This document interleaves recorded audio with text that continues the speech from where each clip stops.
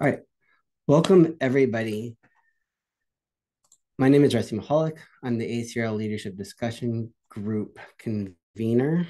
Um, I'm very happy to have our first presentation for our upcoming book, Toxic Cultures in Academic Libraries, which will be published by ACRL Press, which we it should be coming out sometime in spring.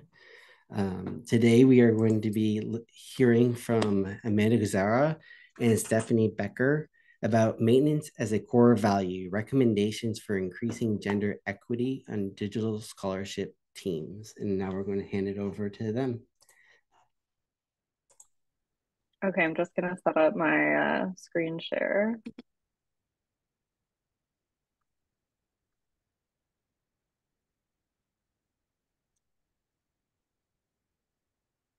How's that looking? Looks good to me. Great. All right. Cool. Um, so hi, everybody. My name is Amanda Koziura, and I am the head of scholarly communication and data services at the University of Nevada, Las Vegas.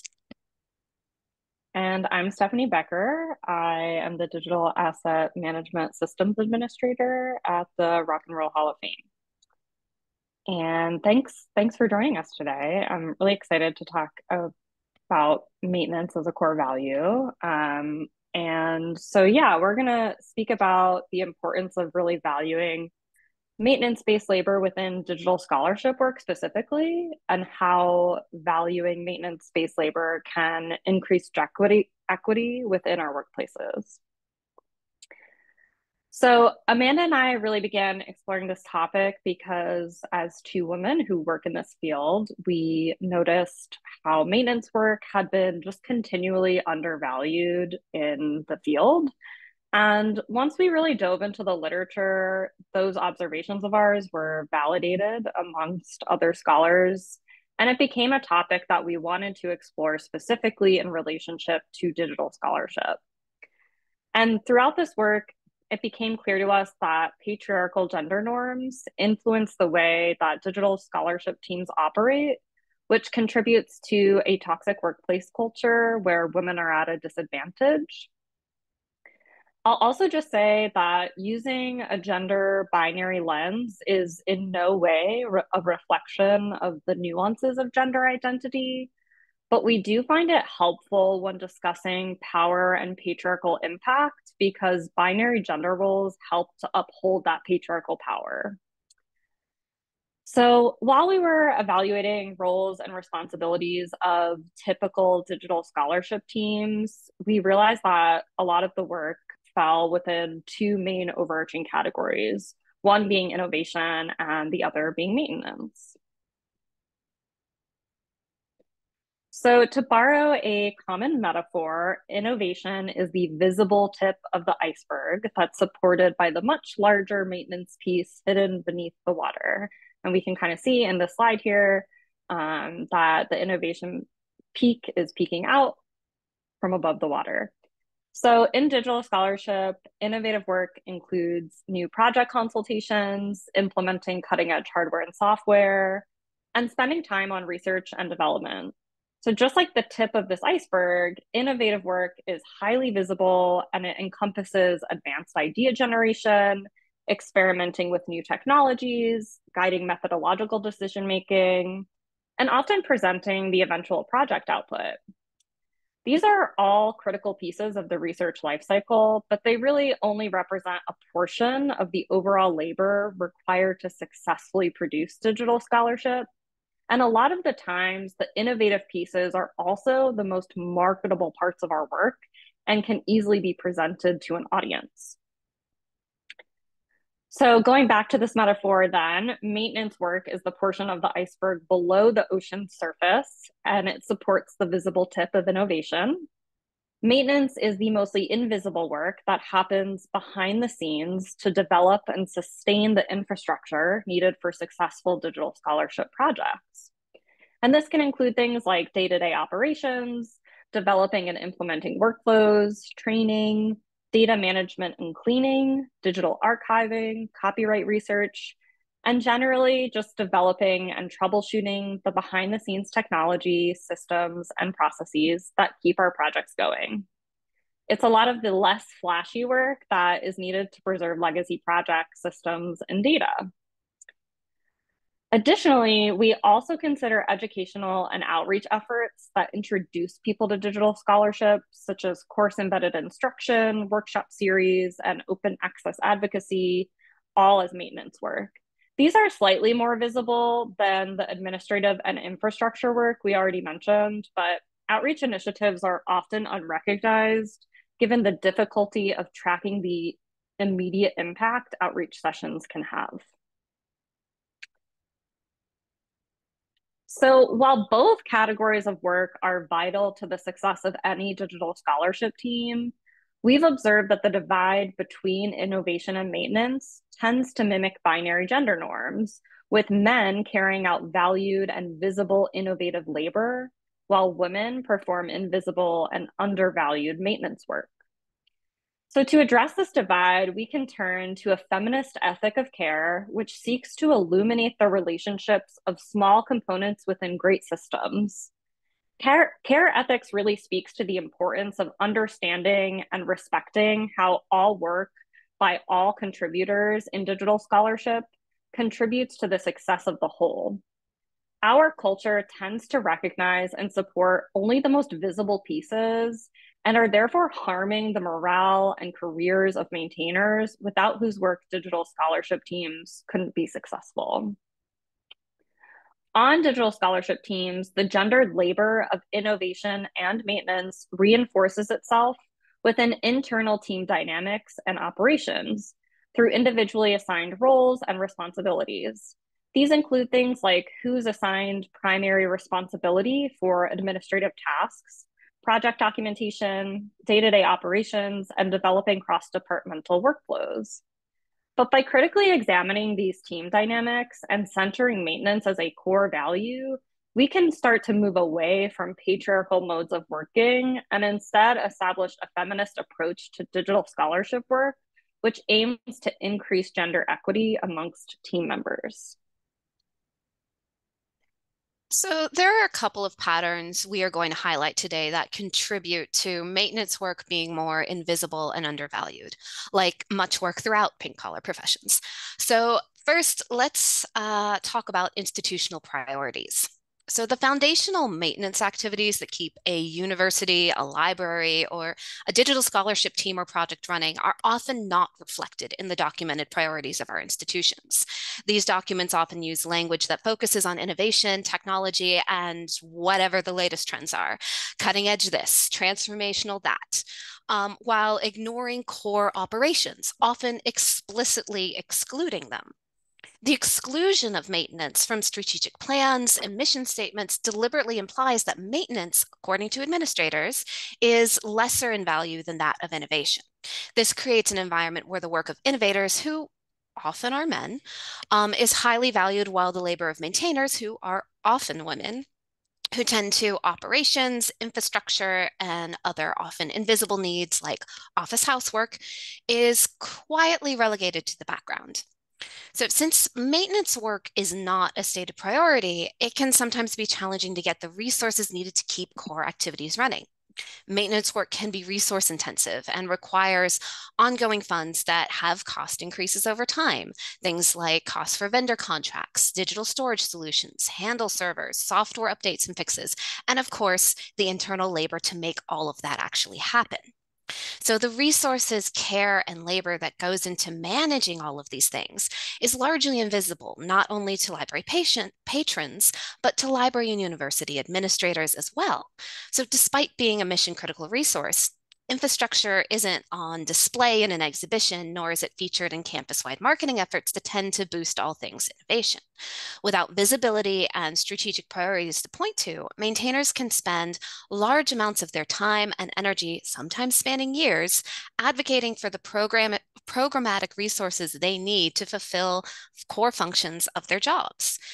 Oftentimes, the only time maintenance truly becomes visible is when something breaks. And even then, the focus is often more on fixing it as quickly as possible rather than looking for long term solutions that could prevent issues. The need to center maintenance is often ignored because of the invisibility of this labor and the and its invisibility in our priorities, which can have significant impacts on the working conditions and careers of those in maintenance positions. Um, another um, issue uh, that we wanted to highlight is the culture of digital work being supported by soft money, one-time funds, and precarious labor. Innovative and experimental projects can be funded in the short term through grants or other means, but after they successfully debut and attention has waned, suddenly the resources needed for long-term maintenance are scarce. Getting the grant is celebrated, um, but the long-term work to keep things going successfully is not. Eventually, the grant funding dries up, precariously employed people move on, and administrators look for the next big thing to catch a funder's eye. This short term success metric greatly undermines any long term sustainability efforts achieved through financial investment in maintenance and is exactly the type of culture that leads to burnout, especially among the precariously employed. Think about how exhausting it must be to have to, pro- to have proven that you have a winning idea, a working project, and not being able to keep it going because funders have moved on to the next big thing and no one is willing to commit hard funds. How challenging it must be to build a career on soft money funded positions that may require somebody to move across the country to stay employed, which, as we all know, is not an easy or available thing to do for everybody. So all of this can also be seen in the culture of digital humanities work, where one-off or short-term projects and open source technologies can burn out as quickly as they come to life due to precarious funding coming to an end. Such projects further exemplify the culture of digital scholarship where innovation is valued, but maintenance, even of something that is extremely useful to other scholars, is not.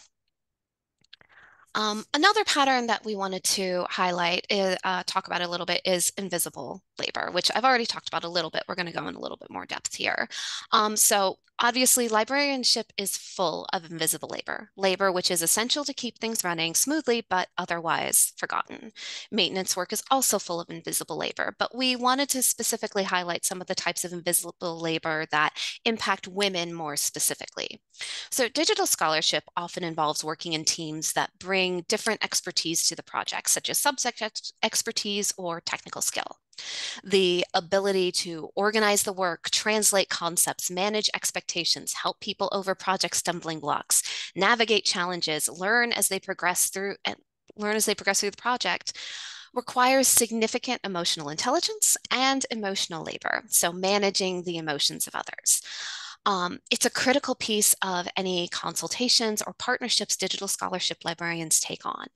While taking on this emotional labor, helping people through frustrations or technological limitations can ensure the success of a project, it isn't usually recognized. Furthermore, male innovators are not usually expected to take on emotional labor. They are allowed to stick to advising or otherwise contributing strictly within their areas of expertise, um, but women innovators are often looked to for additional emotional labor. This makes what might appear to be an equal workload for men and women actually a heavier workload for women because of the implicit and gendered expectations put upon them. Similarly, um, organizational citizenship behaviors or OCBs are invisible labor that employees do to care for their workplace. Often it's these office housework style tasks, administrative work that's essential to keep things going smoothly, but it doesn't generate revenue, it's time consuming, and it's generally considered menial. Um, think about coordinating calendars for a meeting, for example, or event planning. Uh, women usually end up uh, fulfilling the gendered expectation that they will be good campus citizens and take on or get assigned these maintenance and service oriented tasks, um, while men are allowed to focus on their job responsibilities. Even if women are in a more privileged innovator role, um, they often find themselves taking on or being assigned uh, care and maintenance work while their male colleagues are allowed to focus strictly on the more valued and visible portions of the job. Um, this traps women in a perpetual cycle of undervalued administrative housework, including emotional labor and invisible OCBs, OCBs, yeah, while their innovator colleagues move unencumbered from one scholarly project to the next. And to address a comment in the chat, I cannot take credit for coming up with the term organizational citizenship behaviors. That actually came out of a really amazing paper, um, which is listed in our references list. So that I highly recommend everybody read. Um, so here we have a chart that we've used to show the spectrum of impacts based on whether or not um, a position is innovation or maintenance based, and then also the gender of the person um, who is in that position. Um, so we this chart illuminates some patterns we noticed both from our time in working in digital scholarship and throughout the literature. Uh, the divide between innovation and maintenance uh, positions mimics the challenges of binary gender dynamics, but the gender of the person in the position also compounds that impact. So innovators um, have a great deal of autonomy over which projects they consult on and how involved they are in the project. They're often allowed to set their own boundaries, um, often within the confines of any policies that may or may have been set by their department.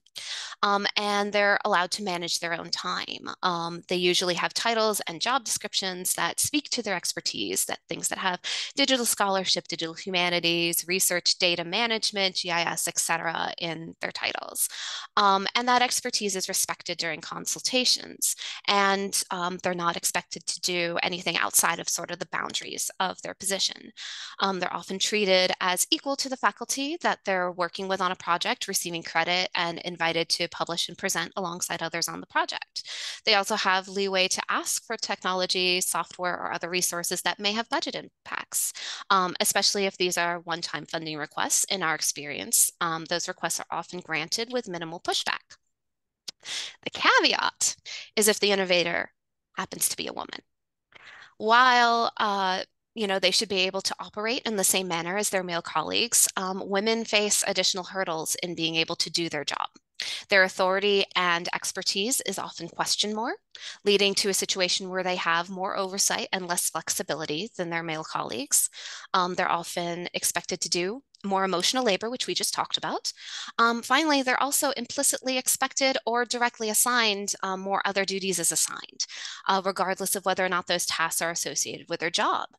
Um, this again impacts the bandwidth of the women in the position and their ability to do the job as efficiently and effectively as their colleagues. We've seen this taken to extremes at times where a female innovator is tasked with doing almost entirely other duties as assigned and then not recommended for promotion because of it, or women having to leave their positions because they weren't able to operate with the same latitude as their male colleagues, only to be replaced with men who were indeed given the type of authority and autonomy the women sought. Um, women may also not be granted all of the resources that they need to do their jobs. For example, not being granted access to higher end software or computing, even when it's in their job descriptions. Whereas male innovators, um, in our experience, have often been given appropriate resources, sometimes without even having to ask. Um, so, and you see a similar pattern with the maintenance positions. Overall, maintenance positions are mission critical, uh, but because the work is not usually as visible, experimental, shiny um, as the work of innovator positions, they are at a disadvantage in terms of budget and resource requests and receiving credit for their work. The work is not usually as uh, project-based as that of the innovator positions, so there can be fewer opportunities to receive credit, um, to be on publications or presentations, even if those innovative projects might be built on the work that they do. Women in these uh, positions are even further disadvantaged. Again, their expertise is often questioned and they have to jump through more hoops to prove themselves um, as compared to their male colleagues. This further impacts their ability to receive the resources they need in order to do their work. Male maintainers are likely to are more likely to be successful with their um, resource requests uh, than their female counterparts. Um, they're also more likely, uh, women uh, in these positions are also more likely to be assigned administrative and documentation tasks than their male colleagues, meaning they get to spend uh, less time on the core functions of job and what they're evaluated on. So all of this contributes to a culture where instead of all of the labor being visible and valued and everybody being able to, to work together um, on sort of an even, even footing, there's a hierarchy of privilege um, based on the type of work and the gender of the person in the role. Naturally, this can have some significant impacts. So let's talk about those impacts. Uh, what we've discussed so far is that it's easier for people in innovator positions to get credit. They're doing highly visible, novel things, often project based, with a much higher likelihood of presenting at conferences and publishing. The work that maintainers do often contributes to the success of these projects. But because it's not as visible, it's not as likely to receive credit or other career advancing opportunities like co authorship. It's often easier for innovators to be able to talk about the value and impact of their work because it's reflected in the priorities and guiding documents of our institutions, whereas maintenance work is excluded from them and thus makes it more challenging for its value to be recognized because it's less visible. It also makes it harder to receive approval for professional development funding Getting appropriate funding for conferences, continuing education, workshops, webinars, etc., is already challenging at a lot of institutions due to budget limitations. So when maintenance activities, even those that solve problems or streamline work, are not as a not as valued or documented as priorities, it can be really hard to receive appropriate funding. On top of that, women are more likely to have at home care responsibilities, which makes professional development and devoting time outside working hours to their career harder, if not impossible. Even when women receive support and budget approval for professional development, they might not be able to travel considering both the financial and emotional costs of child and or elder care. And while strides have been made toward providing accommodations for nursing mothers, such as providing lactation spaces at conferences, the majority of National Library conferences provide no information on childcare options. The lack of individual recognition and professional development opportunities ultimately hinders career progression for maintainers and women in our field. Given the increase of office housework, uncredited emotional labor, and tirelessly advocating for resources, it's more challenging to meet the expectations of tenure or promotion on the standard timeline, or more challenging to make the case of impact because their activities aren't in the institution's guiding documents. And for those that aren't on a specific clock to go up for promotion, these factors can make it take longer before they're deemed worthy to move up in their career. So the longer it takes then to go up for promotion, the longer it's likely to be between promotion related raises. So, in the case of merit based raises, the challenges in showing impact and continued career growth, and the fact that maintenance work isn't valued, means that it can also impede a maintainer's ability to access salary raises as their accomplishments are considered less notable or critical than those of their innovator colleagues. We'd also be remiss if we didn't mention that men at every level of librarianship make more than their female colleagues. Starting salaries do contribute to this, but there's an increasing body of research showing that salary negotiation is actually not a contributing factor as widely once believed, as women are actually more likely to negotiate, but less likely to receive as much from the negotiation as men. We've also observed male innovators being hired in at or more quickly promoted to higher ranks than their female colleagues. The difference between support, recognition, and opportunity for growth between maintenance and innovator positions, and the further impact of gender within them, ultimately results in a toxic environment full of resentment as the privileged easily get what they need while others have to tirelessly advocate for the time and baseline resources just to do the core functions of their jobs. All of these factors converge to form an environment where male innovators were highly privileged, receiving the majority of funding, accolades, and overall support. Meanwhile, female innovators and maintainers were relegated to doing the majority of the emotional and invisible labor to keep things running smoothly, even at the cost of their own career advancement. And while systemic changes supported by administrators are needed to fully address the gendered culture around digital scholarship work, we are recommending some actions that can be employed at a much smaller scale to begin to affect change. So to help address the inequities between the different classifications of work and the overall impact of gender on opportunity, we can refer back to the moral feminist theory of care ethics. Feminist scholars define this as an ethic that centers on neutralizing power dynamics through human connection and understanding. And unlike patriarchal modes of operating, care ethics embraces and values emotions when making moral decisions. But morality doesn't happen in isolation. It's embedded inside other structural and social standards, which inherit the limitations from our culture imposed by white supremacy and capitalism.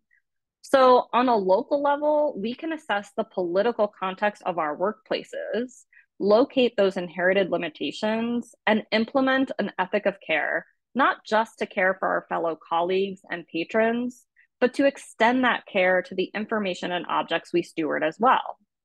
And while implementing care ethics within digital scholarship work cannot fully abolish the harm car- caused by these larger cultural systems, it can help to mitigate the impact of harm on the people and the information and objects we work with. So, next, we're going to review some recommendations in hopes of instilling this ethic of care to move maintenance and maintenance workers to the center of our thinking about how we value and approach labor in digital scholarship. Issues of inequity can easily go unseen and unspoken by anyone not directly impacted, while those who are impacted may not have the social or political capital to raise their concerns or be taken seriously. Enacting an ethic of care within digital scholarship work then must be a collective endeavor by maintainers, innovators, and administrators in privileged positions of power.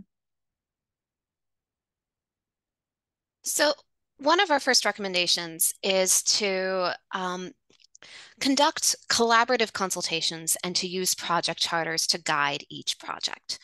Most digital scholarship projects begin as a consultation between a patron and a librarian, one who's typically in an innovator role.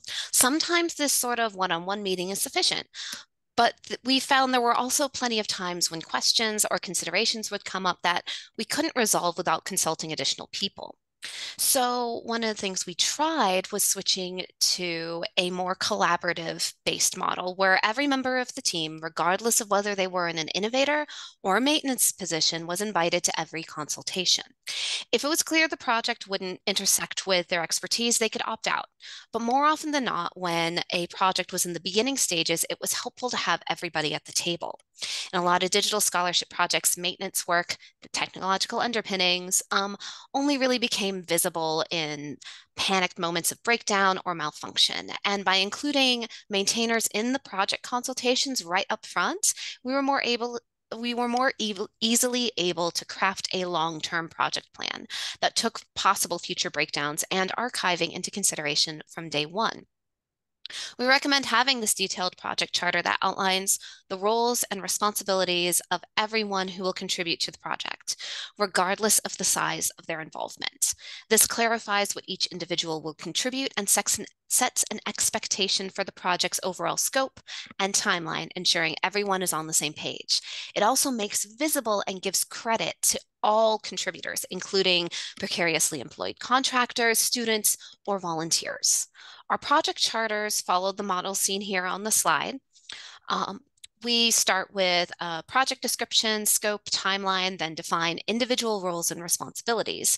We document if there's any uh, funding involved, how those funds will be used, data management plan, um, provide agreed upon language for how participants will be credited um, throughout the project and in the future, particularly in any final outputs.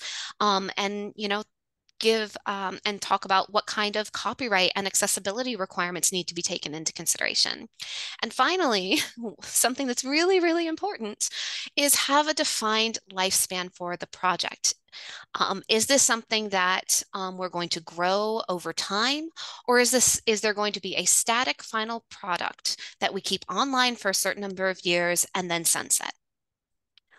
Working through all of these considerations and writing these project charters with patrons and partners helps them understand the full scope of what it takes to do digital scholarship and ensures everybody's expectations are on the same page and ensure everybody receives appropriate credit. Um, going through this process also ensures that we're putting maintenance at each project's core rather than leaving it unconsidered when chasing the new and exciting. Um, and it leads to a more thoughtful scholarly output where all the work is visible and valued. So, our second recommendation is to document and update internal policies and workflows. Much like project charters, thoroughly documenting internal workflows with assigned responsibilities centers and makes visible the maintenance based labor necessary for our teams and our library to succeed. We found that documentation was especially important for cross departmental workflows such as digitization, metadata, and repository work. But other workflows could include things like the renewal of software licenses to ensure ongoing access to patrons and negotiating contracts with academic publishers for access to their content. The labor that goes into creating and executing these policies is truly significant, but it frequently remains unseen and unacknowledged as it become it uh, as it becomes part of standard operating procedures.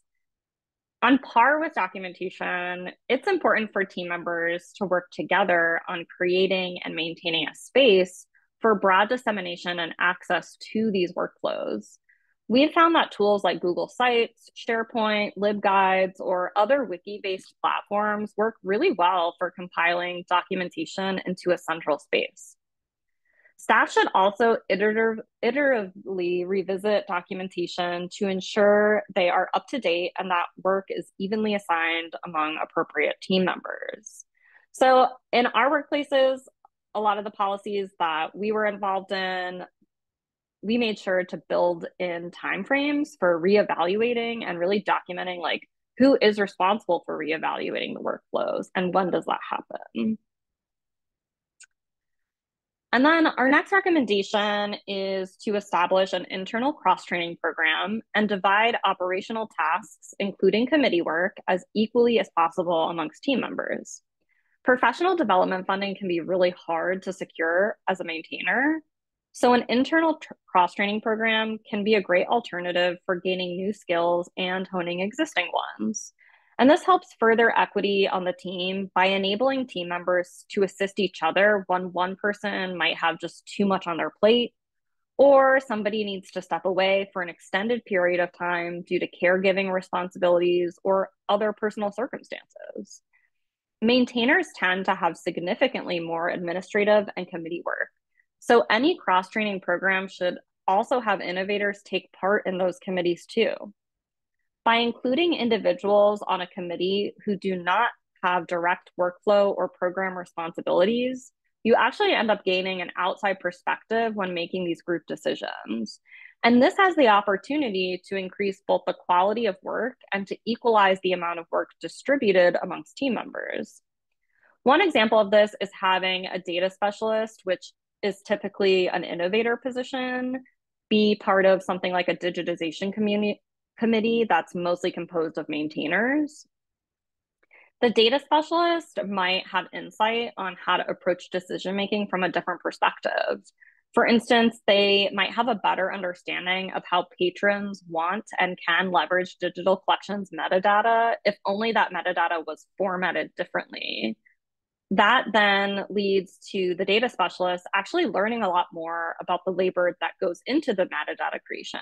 And the metadata librarian then learns more about how patrons want to use metadata in partnership with digital scholarship tools. So, our last recommendation is for managers to distribute work that falls outside of job descriptions equitably among the team and to regularly revisit job descriptions for scope creep and accuracy. It's important to recognize that an overabundance of non position related tasks takes away opportunities for an employee to work on strategically important functions that would both aid the institution and help them grow their career. These other duties as assigned are often distributed in a gendered fashion, where women are given an abundance of office housework. In order to prevent this, managers should work closely with their reports to document the full scope of each team member's responsibilities and not just rely on what is written in the job descriptions.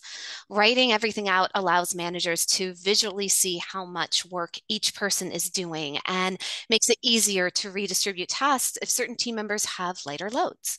By documenting all the required labor involved in each position, appropriate weight and recognition can be given to the impact of these tasks in annual reviews and tenure or promotion packets, as well as helping to document individuals' career growth. Similarly, administrators should include maintenance in their strategic plans and other guiding documents to bring awareness to the criticality of this work and to secure resources, including labor, um, that maintenance requires. Ideally, a full review of job descriptions would be done annually and they would be updated as needed to reflect any changes to the scope or the duties of the position.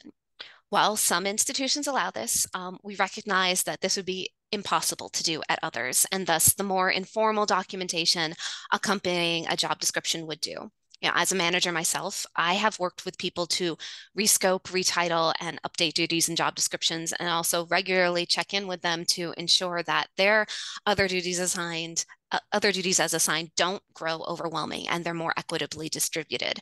It is work, but it is important work that every manager should be doing to ensure better equity on their teams. So we understand that the adoption um, of any of our recommendations will not repair the systemic inequalities which govern our society and our institutions. But we do believe that they can help further equity within our own spheres of influence and help to mitigate the harmful consequences of gendered labor at our more, a more localized level. In order to recenter maintenance as a core value, we need to move from buzzwords to values and from means to ends. The language we use in our job descriptions, strategic plans, and mission statements must be intentional and reflect both innovation and maintenance. Doing so improves the visibility of maintenance work and enables women to frame their labor as mission driven and not just operational by collectively increasing the visibility of maintenance work and being mindful of the impact of position and gender privileges in the workplace, we can increase equity within digital scholarship teams and create a culture centered on care, which values and rewards all labor as central to success.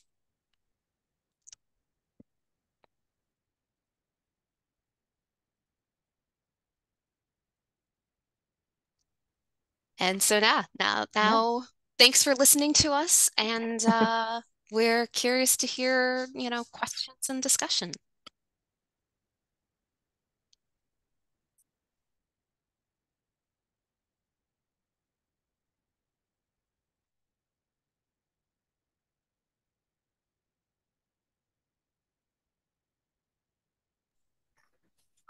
What inspired you to work together on this project?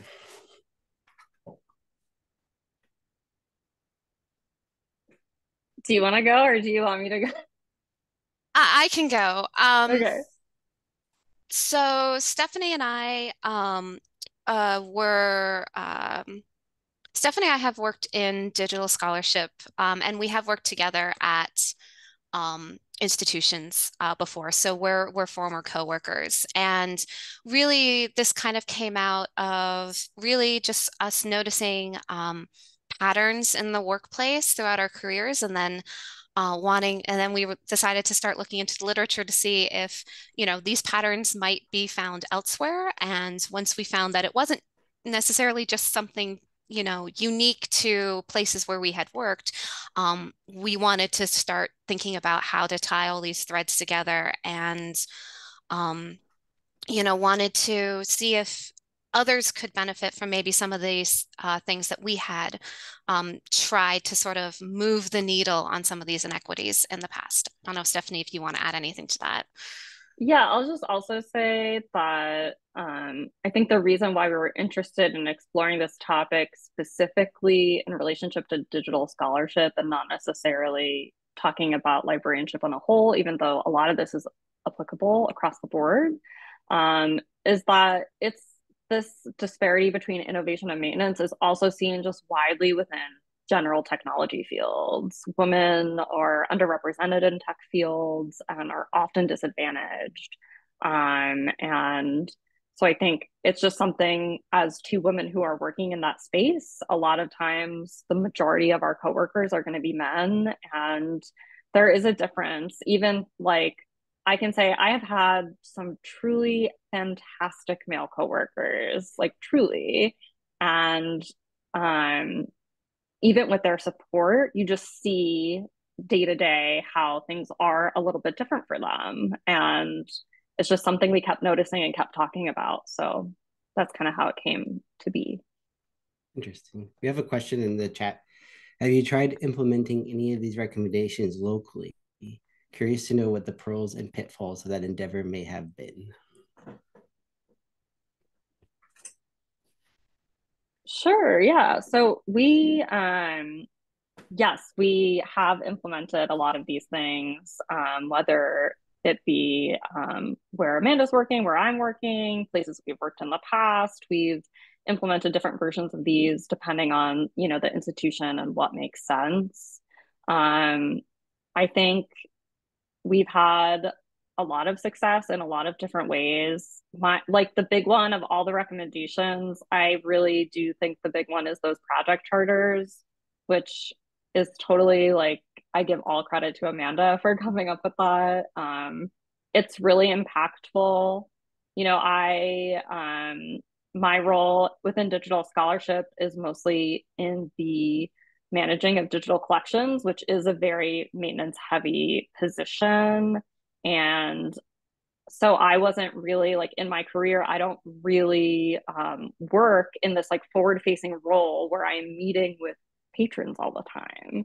Um, but some of my colleagues are like the GIS librarian or the digital scholarship librarian.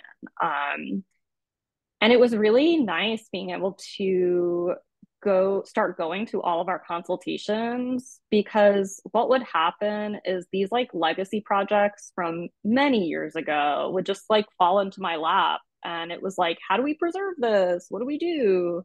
And it's like okay the people that initially started this project maybe aren't even alive anymore. Like this is you know it's it's like a little too late to think about this um, because we don't have enough context and I'm also busy. and so I think really having these conversations from the start of like, what do you want your project to look like? You know, do you want to grow it over time? Is there going to be a new set of data every year that we want to add to this?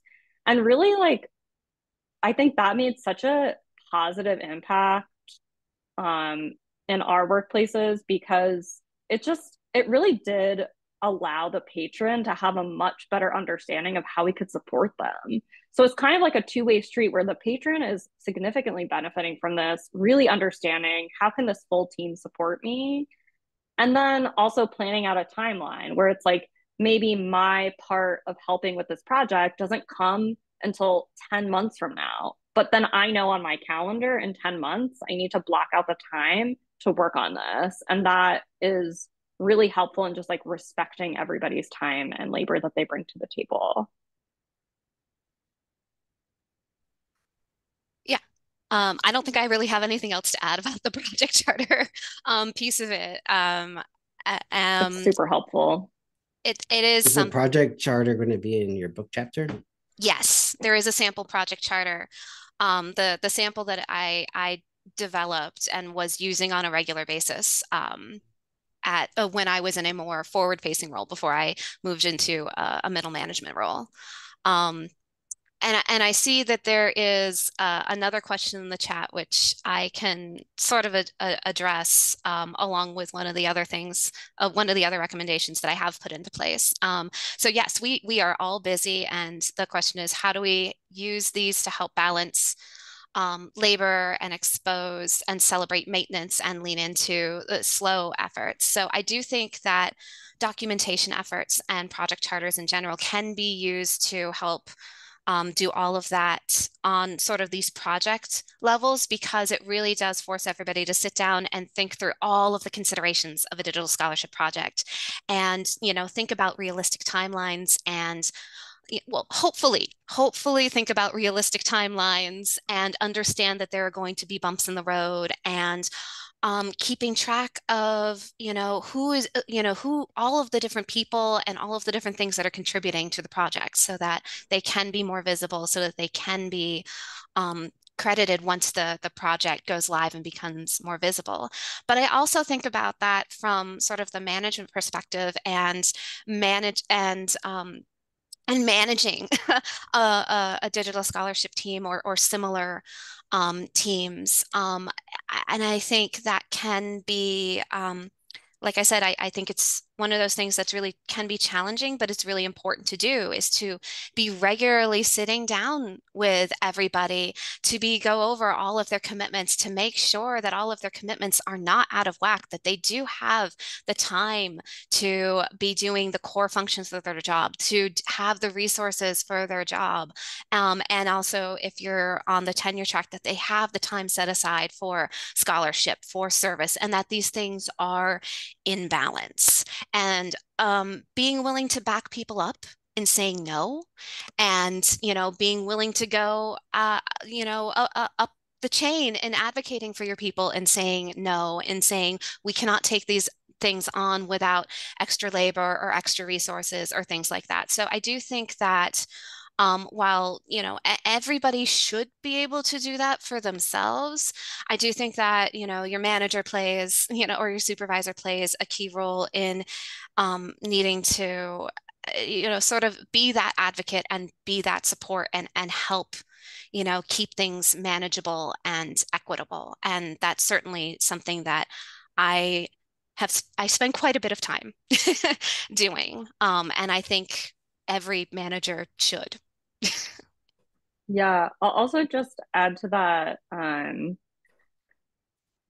we, you know, we talked, one of the things we talked about was um, short-term success metrics, which is something I feel pretty strongly about is um, very prevalent within our field of like we did this thing and we launched this thing and it's amazing and um is that really success? It just like doing one thing but then there's people in the back office who are trying to like keep it alive and nobody's looking at them um you know like for for example when we talk about like digitization workflows a lot of times in in digital archiving projects the success metric is did we did we digitize what we wanted to? Like, it's like, oh, we digitized this one collection. It's very important. Maybe we got grant funding for it. And now that collection's online. And that's our short term success metric, right? Like, that's a big thing and it's a big win. But in my view, as somebody who does the ongoing work of all of that, my success metric is can I create a workflow that not only applies to digitizing one collection, but digitizing all of our collections?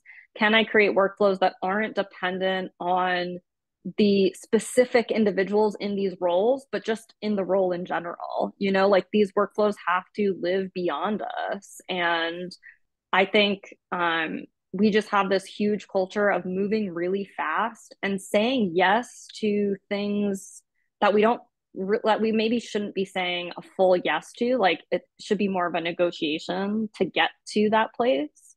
Um and yeah so i think that just it makes it really hard for maintenance anyone in a maintenance based position to really a- advance in their career because nothing that they're doing is considered successful within these short term requirements that we have um, so that's that's another one that could like I, I do think I like that you use the word slow in the question um, because I think, yeah, we just we need to slow down and really think about what we're doing. And there's been times in my career so far that I have been able to do that, and the project's outputs are always better. Um, so yeah, a little mix of both. I like creating workflows that go beyond the, the person or the project that you're working on. I think Yeah. that's important for sustainability. Um, there's another question. Do you find that the binary of innovator and maintainer is even a productive distinction in digital scholarship? Or in the ideal world, would all team members practice both forms of labor? Is that feasible or is that the specialization still beneficial? Um, That's a good don't, question. Yeah, it is a good question. Um, do you mind if I jump in, Stephanie? No, of course not. Okay. Um, so I I I don't think it is an unproductive distinction. I think there are some people who have skill sets that are, you know, more, you know, make them that might make them better at the work of, you know, an innovator role. And there are some people who, you know, are really amazing at these maintenance roles. And I, I think the key isn't necessarily um, that there sh there shouldn't be any distinction and more about getting them to work together and understand each other. Um, I, I so I don't necessarily think that specializing in one way or another is bad. Um, we can't um, there there are some levels of expertise you can only get with a certain level of um, specialization, and that becomes really important in a lot of pro in a lot of projects. Um, but I think the key is to not let the balance get out of whack. I do think that maintainers should have um, should should have if they don't already have coming into the the position that they should work to gain a level of understanding and respect for you know the the maintenance piece of this work and um, and vice versa. Um, I don't know if anybody else is a theater person. I come from a theater background, and it's very much like, you know, the actors and the stage crew all need to work together in order to for the production to go on. Um, and ideally, both of them will have an understanding and respect for the roles, even if they are not necessarily um, the best at the other person's role. So I, I don't necessarily think that having a distinction between the two is unproductive. They're all they're both bringing important aspects to digital scholarship work. It's really about making sure that everybody has an understanding and a respect and that there's visibility to all of it. Yeah, I will um also just add to that that maybe it's maybe it's less about making a distinction between them and more about like redefining what those words mean. So like as I was talking about earlier with the short-term success metrics and creating digitization workflows, like I've created some policies and some workflows in the past handful of years that I think are really innovative, that I'm super proud of. And but that stuff is not classified as innovation work. Um, it's just regular old policy stuff. Um, and it's not uh, celebrated in the same way that some of the more flashy um, big projects get to be celebrated. So I think I think it, we it's really important to just think a little more critically about like what does innovation actually mean because like why can't maintenance work be considered innovative um because it, it often is but it's just not not really treated the same way. So yeah just wanted to add that.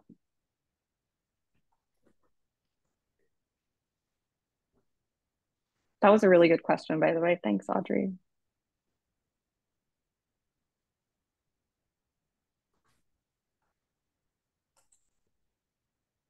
If we don't have any more questions, thank you all for coming spending your lunch or afternoon with us on a Thursday afternoon in the middle of October. Busy semester. So thank you all. And thank you to our speakers, Stephanie and Amanda. Um, hope you all have a great day. Thanks so much for joining us, y'all.